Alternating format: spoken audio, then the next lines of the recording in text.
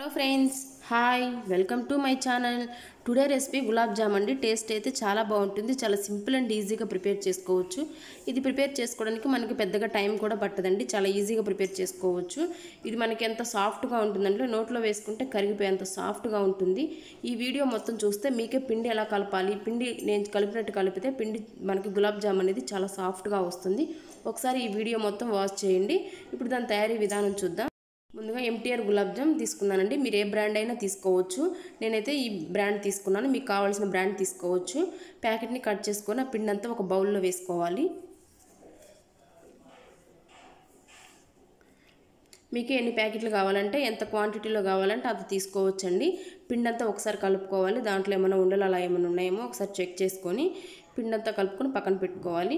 ఇవి కాచి చల్లార్చుకున్న పాలండి. మనకి గులాబ్ జామ్ పిండి కలుపుకోవడానికి కాచి చల్లార్చుకున్న పాలు యూస్ చేస్తే ఇవి చాలా సాఫ్ట్గా వస్తాయండి. వాటర్ కన్నా ఇట్లా పాలు యూస్ చేస్తే మనకి ఎంతో సాఫ్ట్గా ఉంటుంది గులాబ్ జామ్ కూడా. ఇట్లా పిండి బాగా అంతా ప్రెస్ చేసుకోవాలి. మీరు ఒక్కసారే పాలు ఎక్కువ యాడ్ చేసుకొని కలుపుకోకండి. కొంచెం కొంచెం యాడ్ చేసుకుంటూ పిండిని ముద్దాలు చేసుకోవాలి. పిండి మనకి చాలా సాఫ్ట్గా ఉండాలి.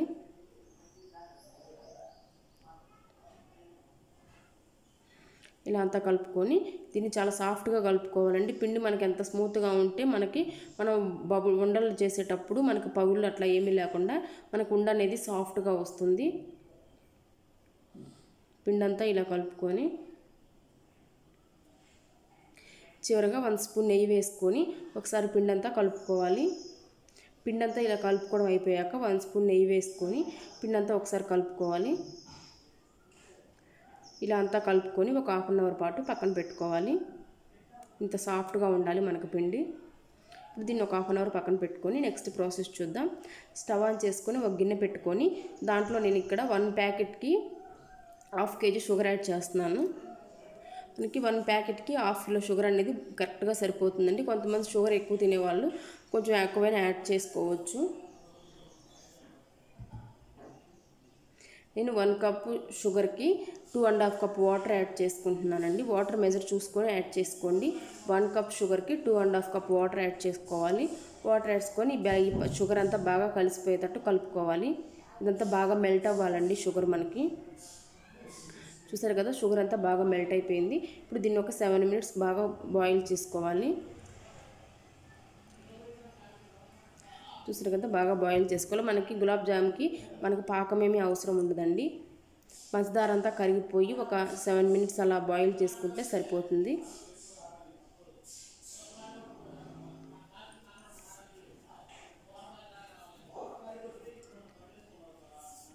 ఇట్లా కలుపుకుంటూ ఉంటే మనకి షుగర్ సిరప్ అనేది రెడీ అవుతుంది. చూసారు కదా మనకి షుగర్ సిరప్ అనేది రెడీ అయిపోయింది. ఇప్పుడు దీంట్లో హాఫ్ టీ స్పూన్ ఇలాచి పొడి వేసుకోవాలి. ఇలాచి పొడి వేసుకొని ఒకసారి కలుపుకోవాలి. ఇప్పుడు దాంట్లోనే హాఫ్ లెమన్ పిండుకుంటే మనకి షుగర్ సిరప్ అనేది తిరిగి గడ్డగట్టకుండా అంతే ఫ్రెష్గా ఉంటుంది. లేదంటే పచ్చకర్పూరం అయినా వేయొచ్చండి. మనకి షుగర్ అనేది గడ్డగట్టకుండా అంతే ఫ్రెష్గా ఉంటుంది. షుగర్ సిరప్ అనేది. ఇప్పుడు దీన్ని మూత పెట్టుకొని పక్కన పెట్టుకోవాలి. ఇప్పుడు నెక్స్ట్ ప్రాసెస్ చూద్దాం. మనం కలుపుకున్న పిండిని బాగా పక్కన పెట్టుకున్నాం కదా ఆ పిండిని ఒకసారి మళ్ళీ ప్రెస్ చేసుకోవాలి ఇలా. ప్రెస్ చేసుకొని చిన్న చిన్న ఉండలు తీసుకొని చేతిలో ఇలా నలుపుకుంటూ బాగా ఉండ చేయాలండి. ఇట్లా ప్రెస్ చేసుకుంటే మనకి ఆ ఉండలు అనేది పగుళ్ళు ఏమీ లేకుండా గులాబ్ జామ్ అనేది మనకి చాలా సాఫ్ట్గా వస్తుంది. మరీ పెద్ద ఉండలు చేయకండి మీడియం సైజ్ చేసుకోండి. ఎందుకంటే మనకు ఆయిల్లో వేసినప్పుడు అవి ఇంకా ఉబ్బుతాయి కాబట్టి చూసుకొని ఉండలు వేసుకో ఉండ ప్రిపేర్ చేసుకోవాలి. మరి పెద్దగా ప్రిపేర్ చేసుకుంటే మనకు ఆయిల్లో వేసినప్పుడు ఇంకా పెద్దగా అవుతాయి. చూసారు కదా అన్నిటిని మనం ఈ సైజులోనే ప్రిపేర్ చేసుకోవాలి. మనం తీసుకున్న పిండి అంతా ఇలానే ప్రిపేర్ చేసుకోవాలండి. ఇట్లా చేతితో ప్రెస్ చేసుకుంటూ ఇట్లా ఉండ చేసుకొని పెట్టుకోవాలి. అన్నిటిని ఇలానే ప్రిపేర్ చేసుకొని పక్కన పెట్టుకోవాలి. ఇప్పుడు స్టవ్ ఆన్ చేసుకొని డీప్ ఫ్రైకి సరిపడా ఆయిల్ యాడ్ చేసుకోవాలి.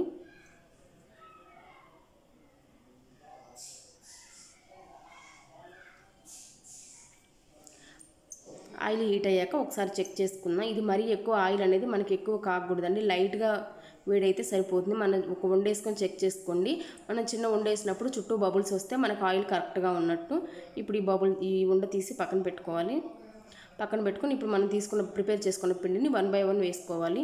ఈ ప్రాసెస్ అంతా మీడియం ఫ్లేమ్లోనే చేసుకోవాలండి. హై ఫ్లేమ్లో చేసుకుంటే పైన మాడిపోతుంది పైన కుక్ అవుతుంది కానీ లోపల అనేది కుక్ అవ్వదు. పైన మాడినట్టు మనకు ఆ ముందే గోల్డ్ కలర్ వచ్చేస్తుంది. లోపల మాత్రం పిండి అలానే ఉంటుంది. అందుకని ఈ ప్రాసెస్ అంతా మీడియం ఫ్లేమ్లో పెట్టుకొని చేసుకోవాలి. హై ఫ్లేమ్లో పెట్టకండి. చూసారు కదా మనకి ఆయిల్లో వేస్తేనే మనకి మనం తీసుకున్న ఉండ అనేది ఇంకా ఉబ్బుతుంది. అందుకని ఉండ అనేది చూసుకొని ప్రిపేర్ చేసుకోండి. అన్నిటిని ఇలానే వేసుకొని లైట్ గోల్డ్ కలర్ వచ్చే వరకు ఫ్రై చేసుకోవాలి. ఇప్పుడు వీటిని ఒకసారి రివర్స్ చేసుకుందాం మళ్ళీ. చూసారు కదా మనకి ఉండలు అనేది ఎక్కడ పగులు లేకుండా ఎంత సాఫ్ట్గా ఉందో ఉండ. పిండి గిన్నెకి ఇలా కలిపితే మనకి గులాబ్ జామ్ అనేది పర్ఫెక్ట్గా వస్తుందండి. ఫస్ట్ టైం చేసే వాళ్ళు కూడా చాలా సింపుల్ అండ్ ఈజీగా ప్రిపేర్ చేసుకోవచ్చు. అంత ఈజీగా ఉంటుంది. వీటిని లైట్ గోల్డ్ కలర్ వచ్చాక తీసుకోవాలి తీసి పాకంలో వేయాలి.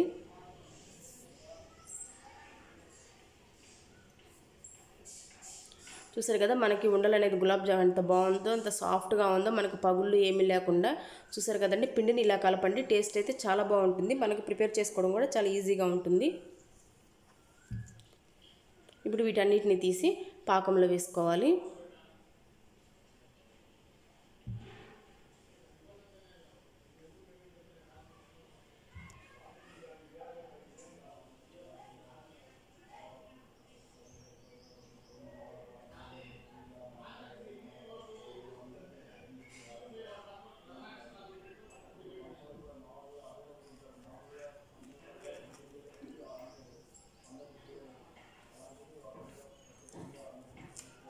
ఇట్లా అన్ని పాకంలో వేసుకొని ఒకసారి పాకం అంతా ఈ ఉండలకు పట్టేదో ఒకసారి కలుపుకోవాలి.